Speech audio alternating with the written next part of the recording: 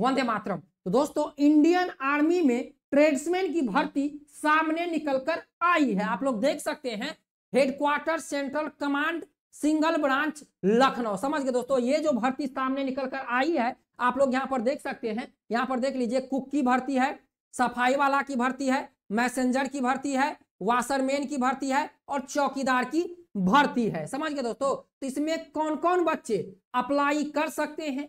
क्या लंबाई लगेगी, क्या आयु लगेगी? और ये फॉर्म ऑफलाइन है।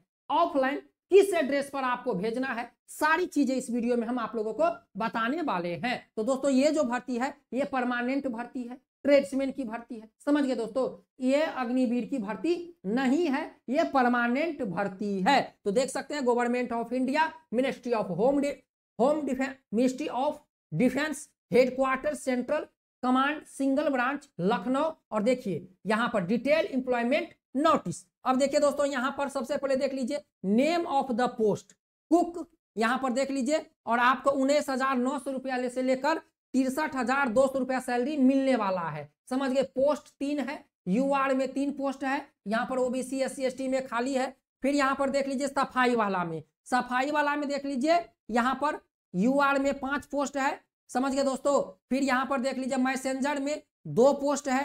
फिर देख लीजिए यहाँ पर वाशरमैन में एक पोस्ट है। फिर देख लीजिए चौकीदार में दो पोस्ट है और यहाँ पर देख लीजिए ओबीसी में यहाँ पर एक पोस्ट है। तो यहाँ पर जो भर्ती निकल कर आई है, केवल अनरिजर्व मतलब कि यू आर स्टूडेंट के लिए कुल देखिए ग्यारह भर्ती सामने निकल कर आई है और एक भर्ती है एसटी में। समझ गए दोस्तों? यहाँ पर देख लीजिए और यहाँ पर आप लोग चले नीचे चलते हैं। नीचे जानते हैं सारी चीज़ें। अब देख लीजिए क्वालिफिकेशन कुक का। दसवीं पास होना चाहिए और उनको इंडियन कुकिंग में मतलब कि खाना बनाना आना चाहिए। समझ गए दोस्तों? दसवीं पास होना चाहिए, खाना बनाना आना चाहिए। फिर देख लीजिए सफ़ाई वाला में दसवीं पास बच्चे अप्लाई कर सकते हैं। मैसेंजर में दसवीं पास बच्चे अप्लाई कर सकते हैं। वाशरमैन में दसवीं पास बच्चे अप्लाई कर सकते हैं।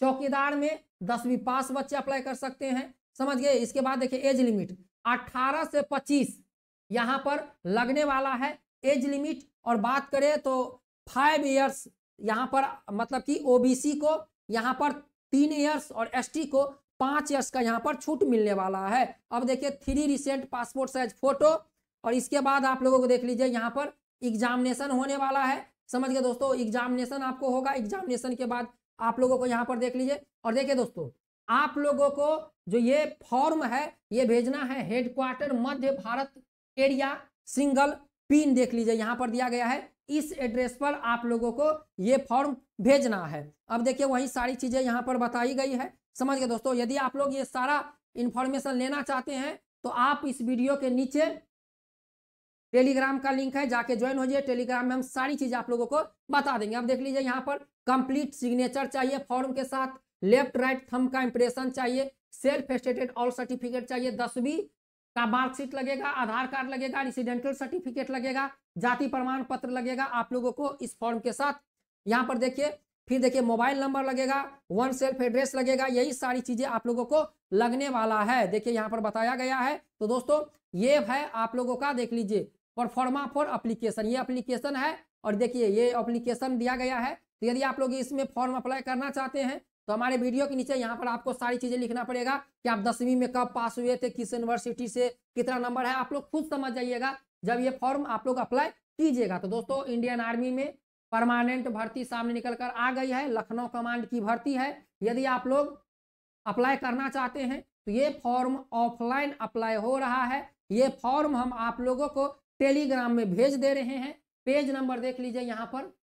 फॉर्म का जो निचला, सबसे नीचे आइएगा तो देख लीजिए यहाँ पर पेज है परफॉर्मा ऑफ़ एप्लीकेशन यहाँ पर आप लोग इस फॉर्म को आके, यहाँ से इसको प्रिंट आउट करके, सारा फॉर्म यहाँ पर भर के, लिफाफा में डाल के, और ये भी आप लोगों को साथ लगाना है, ये एडमिट कार्ड का है। जब आपका एग्ज़ाम का उधर से एडमिट कार्ड आएगा, समझिए दोस्तों, यहाँ पर देख लीजिए, यही सारी चीज़ें यहाँ पर एडमिट कार्ड के बारे में सारी चीज़ें बताया गया है। आप लोग यदि फॉर्म ऑनलाइन ऑफलाइन अप्लाई किए होंगे तो आप लोगों को सारी चीज़ें यहाँ पर पता होगा। तो देख सकते हैं दोस्तों, इस तरह से भर्ती आई है। जो भी स्टूडेंट इसमें अप्लाई करना चाहते हैं, आप इसमें ऑफलाइन अप्लाई कर सकते हैं। यहाँ पर देख लीजिए, सारी चीज़ें वो बता दी गई है कि कौन कौन बच्चे इसमें अप्लाई कर सकते थे दोस्तों देख लीजिए फिर से कुक का, सफ़ाई वाला का मैसेंजर का वाशरमैन का और चौकीदार का। दोस्तों पहले एग्ज़ाम होगा एग्ज़ाम में जो बच्चा क्वालिफाई होंगे उनका स्किल टेस्ट होगा।